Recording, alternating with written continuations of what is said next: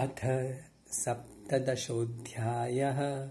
अर्जुन उवाच ये शास्त्रविधिमुत्सृज्य यजन्ते श्रद्धयान्विताः।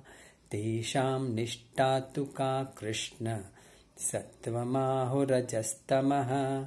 श्रीभगवानुवाच त्रिविधा भवति श्रद्धा देहिनां सा स्वभावजा सात्विकी राजसी चैव। तामसी चेति तां शृणु। सत्त्वानुरूपा सर्वस्य। श्रद्धा भवति भारत। श्रद्धामयोऽयं पुरुषः। यो यच्छ्रद्धस्य एव सः। यजन्ते सात्विका देवान्। यक्षरक्षांसि राजसाः प्रेतानुभूतगणांश्चान्ये यजन्ते तामसा जनाः अशास्त्रविहितं घोरं तप्यन्ते ये तपो जनाः। दम्भाहङ्कारसंयुक्ताः कामरागबलान्विताः। कर्षयन्तः शरीरस्थं भूतग्राममचेतसः मां चैवान्तः शरीरस्थं तान् विद्यासुरनिश्चयान्। आहारः सत्त्वपि सर्वस्य त्रिविधो भवति प्रियः।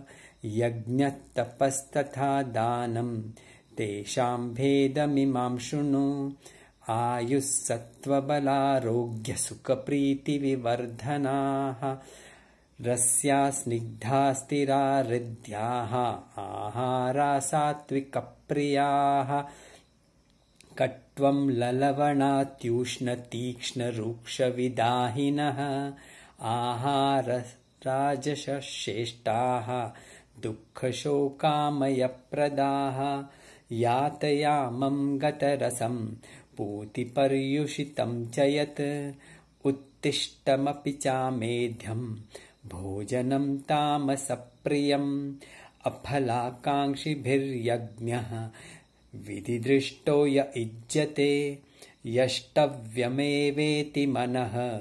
समाधाय स सात्विकः।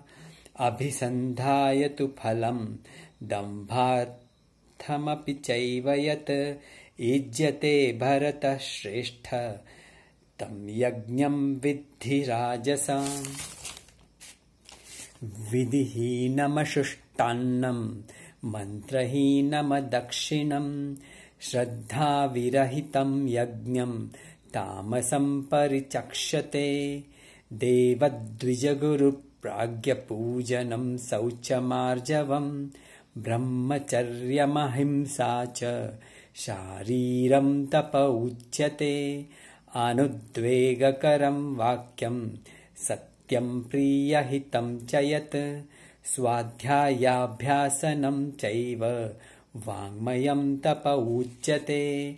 मनःप्रसादः सौम्यत्वं मौनमात्मविनिग्रहः। भावसंशुद्धिरित्योतत् तपोमानसमुच्यते श्रद्धया परया तप्तं तपस्त्रिविधं नरैः अफलाकाङ्क्षिभिर्युक्तैः। सात्विकं परिचक्ष्यते सत्कारमानपूजार्थं तपोदम्भेन चैव यत्। क्रियते तदिह प्रोक्तं राजसं चलमध्रुवं। मूढग्राहेणात्मनो यत्। पीडया क्रियते तपः। परस्योत्सादनार्थं वा तत्तामसमुदारितम् दातव्यमिति यद्दानं दीयतेऽनुपुखारिणे देशे काले च पात्रे च। तद्दानं सात्विकं स्मृतं यत्युप्रत्युपकारार्थं फलमुद्दिश्य वा पुनः दीयते च परिक्लिष्टं तद्दानं राजसंस्मृतम् अदेशकाले यद्दानम् अपात्रेभ्यश्च दीयते। असत्कृतमवज्ञातं तत्तामसमुदारितम् ॐ तत्सदिति निर्देशः ब्रह्मणस्त्रिविधः स्मृतः ब्राह्मणास्तेन वेदाश्च यज्ञश्च विहितः पुरा।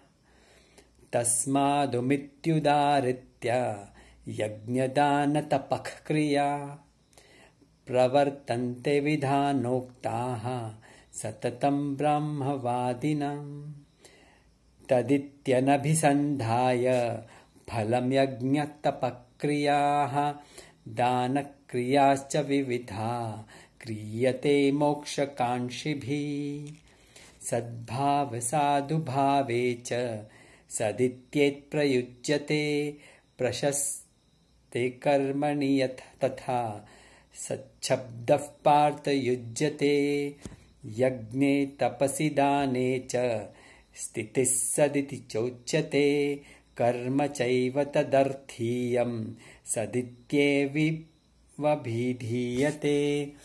अश्रद्धयाहुतम् दत्तम् तपस्तप्तम् कृतम् च यत् असिदित्युच्यते पार्थ न च तत्प्रेतनो इह। ॐ तत्सदिति श्रीमद्भगवद्गीतासु उपनिषत्सु ब्रह्मविद्यायाम् योगशास्त्रे श्रीकृष्णार्जुनः संवादे श्रद्धात्रयविभागयोगो नाम सप्तदशोऽध्यायः। हरि ओम्